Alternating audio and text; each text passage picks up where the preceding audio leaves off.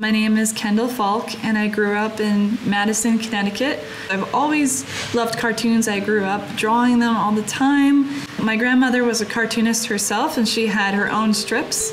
She was always very inspiring because she would always say, you know, never, never give up, never stop drawing, just keep going. Cartoon My Dog came about I just have so much fun drawing them, and at the same time, I thought, well, I can give back to the community as well. So every time somebody gets a commission of their pet, um, I'll donate 10% to the organization that they choose. The client will send me their photo of their pet, and then I will study their photo to see, you know, what kind of expressions to use, or if they want a certain pose, if the client wants to use a toy or a collar.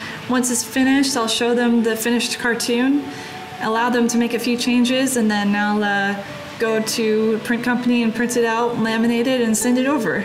Everybody tells me that my cartoons remind them of Lady and the Tramp. I get to capture that, and then they get to see that. I can work on as many animals as the person needs me to draw in. It's not only dogs and cats, but also wildlife or, you know, any kind of zoo animals, even people. I was on Rachael Ray last year performing my animal sounds, animal sound effects that I did for a talent show. The YouTube video got a little bit out of control when I uploaded it. And so I had some companies contacting me and say, hey, what's this? Can you do this for us? And